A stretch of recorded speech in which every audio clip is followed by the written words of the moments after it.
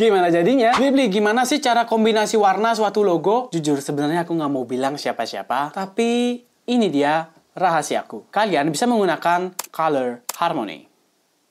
Ini dia rumus membuat kombinasi warna yang menarik untuk desain kamu. Complementary. Pilih warna yang saling berhadapan. Split complementary. Pilih warna pokok, lalu pilih dua warna yang berhadapan. Analogous. Pilih satu warna pokok, lalu pilih warna yang ada di sampingnya. Triadic. Pilih warna dari sudut segitiga. Triadic. Pilih warna dari sudut persegi. Monochromatic. Pilih warna pokok, ciptakan gradasi dengan warna yang ada di sampingnya. Selain itu, aku juga ada rahasia. Ketik paleton.com, website untuk kalkulator color harmony yang rekomendasi banget. Kalian bisa pilih rumusnya dan kalian bisa atur sesuai keperluan.